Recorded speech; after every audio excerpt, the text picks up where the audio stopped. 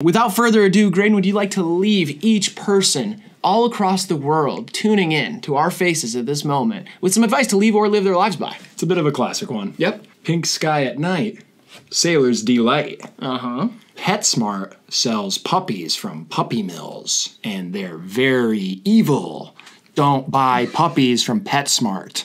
Do it ethically if you're gonna get a dog. I love that old adage. Old seaman adage.